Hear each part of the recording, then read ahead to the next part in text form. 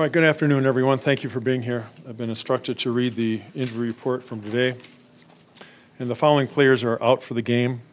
Those would be DJ Jones, Calvin Anderson, and Kendall Hinton. And the following players are questionable for this game.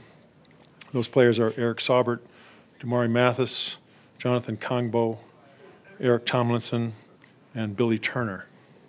And with that, I'll turn it over to your questions. Mathis, is he progressing in the protocol you'd like when he was on ball?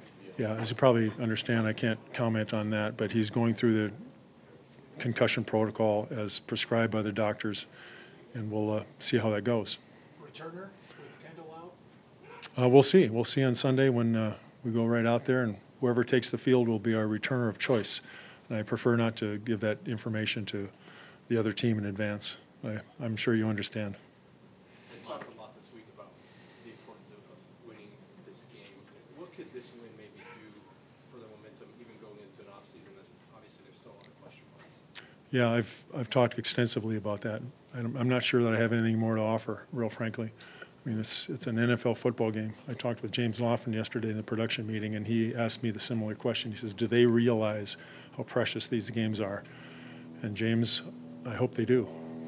sometimes when you return to something after being away, we say things like, oh, I didn't realize how much I missed X, Y, and Z. So for you, coming back to the football environment this year, what things did you experience that made you realize, you didn't realize that you missed so much in the last few years? That's a really thoughtful question. I, I think, if I can rephrase it just slightly, I think the thing that I thought I missed and that has been reconfirmed that I missed was my engagement with the players. I love these guys, man, and, and a lot of these guys didn't know me coming in, and some embraced me early, some embraced me later on, and some perhaps haven't embraced me, but I, I really appreciate these relationships that I build up over the years. And it's not just about building a relationship. If you just do that as a coach, then you're not doing your job. It's about trying to help them become better players and better men so when they venture out in the world, they're prepared for that. And I have deep seated relationships in my life that they've these players have raised me up and I'm a better man for it. So that's what I missed. And uh, I, I'm pretty confident I've made some relationships here that will be life lasting. You were close with John Harbaugh by everything I read. You Yes, that's correct. There's talk about Jim Harbaugh being a candidate here. I was wondering your thoughts on that football family that is the Harbaughs and, and maybe Jim in particular, what you know about. Yeah. To the football family, the Harbaugh family is that they've had a huge impact in my life. I mean, John is my best friend and has been for 30 some years. My, he was there in 1993 when my daughter Megan was born, and, uh, and throughout my life, he's been a very strong influence and a strong um, friend, is in the deepest sense. And so, you know, Jack Harbaugh is to my children, Jack Harbaugh is Grandpa Jack.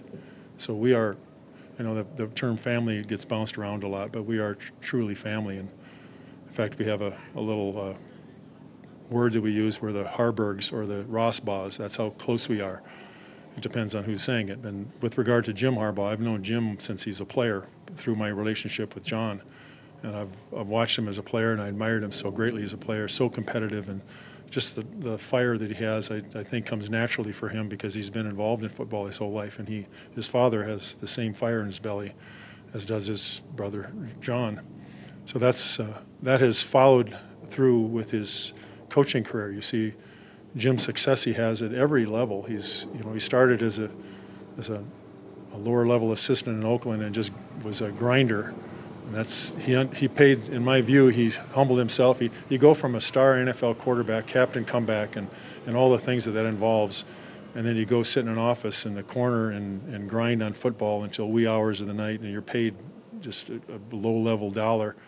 And so he, he, a lot of coaches that come into this league that are former players don't do that. They just jump up into a position coach role or a, even a coordinator's role. Jim did everything. He, he was in the, he was in the very basics of coaching, and, and then he jumps in becomes a college coach at a small school. And next you know, he's in a Pac-10, and next thing you know, he's with the 49ers. He's in the Super Bowl, and, and all that.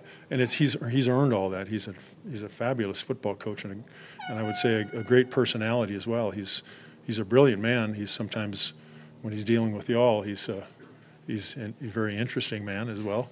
And I and I I laugh, real frankly. I appreciate the way he approaches his task. And, and if this coaching thing doesn't work out for him, then he could always be a lawnsman. I don't know if you've seen that, but I, I belly laughed when I saw that. It so I have a great appreciation for Jim and all his talents, and I love that whole family. So a couple of things. Uh, Have Have you learned anything about football in these past two weeks? You didn't know about football with this particular position. And has Uh. anything changed for you in terms of a desire, perhaps, to still be a coach on the field? I've learned a lot of football, yeah, I have. And I, when you're away for a little bit, perhaps you're not sure how the, the football culture has changed. Uh, so what I've learned about football is the, the basics of football have not changed. There's, it's still fundamentals. It's still blocking and tackling and catching and running, and that, that part has not changed, although, you know, the rules have changed and so forth, but it's, uh, it's still a great, great game, and I love this game. Um, with regard to your second question about my role in this, I, as I've expressed to you all, I have, I have other business interests with Mr. Jonathan Rotella that we're working on, and that's a deep-seated desire for me to help our players, both active and retired. You know, there's too many guys that go by the wayside after they retire, and I, I have a strong desire to do that, and we're, we're it's taking shape. You know, it's in its initial stages, and I, through Next Gen Hyperbaric, and we have a partnership with APN, All Points North Lodge, and we're the foundation at the NFLPA and the and Sean Sensavari, the chief medical officer of the NFLP and NFLPA and the general counsel. We're we're making inroads. So when we get to this point where we have a player that's retired and he's having problems, we both have the resources and the the desire to help these men. So that's like I said previously. You know, next week Monday will be Monday, but I'm I'm really focused on this game for these players. As I've said previously, we're we're seeking to to have joy at the end of the day with our our teammates, our friends, our family, and our fans. That's that's my goal. Monday will be Monday. Thank you all. Oh, am I not done? Yes, sir. I'm sorry. No, no, no, please. I, I didn't. Yes, sir. That was my son, Jared. Oh, it's unbelievable. Yeah, he's he's going through a tough spot in his career too. He's I I go down in the training room and talk to these guys, and I look in their eyes and I see my son. You know, he he had an unfortunate injury. He's a professional hockey player, and he dislocated his shoulder, and, and he had uh, surgery up at Steadman Clinic in Vail, and that's why he was in the area. And he's on the mend, and I, I look forward to watching him play again soon. What, what level? Sorry. Pardon? Oh yeah, I, I ignored your question. I'm sorry. I was so focused on uh, the the moment. The moment uh, I think I just tried. I tried to describe it last time, and when I bounced out of that uh, tunnel and went out there in the stadium, and I was had my son with me. It's it's pretty cool. I, one thing I learned from John Harbaugh, he's he's brilliant at this. Is he and Tom Izzo too is just incredibly brilliant at this, and I'm I'm a rookie. But he shares those moments with others. You know, it's it's one thing to walk out the tunnel yourself and behold the, the whole scene and oh wow this is really cool. I, I, you know it's about me. But being able to share that with my son was really meaningful to me. So yeah we've talked about it. We tried to make sense of it a little bit. But uh, yeah I'm gonna I'm gonna do that with my son again this week at the home game. Thank you. That thank you for that question. What, what level of pro hockey uh, he's he's on an NHL contract with the Dallas Stars. He's playing with the AHL Texas Stars when he got injured Thank you very much, Coach. Thank you, everyone. Hey, one, one last thing, and I know this, we'll probably see each other at the stadium on Sunday, but um, things kind of happen fast on Sundays, and I, I think I talk a lot, lot faster on Sundays than I do during the week. Perhaps you've noticed that.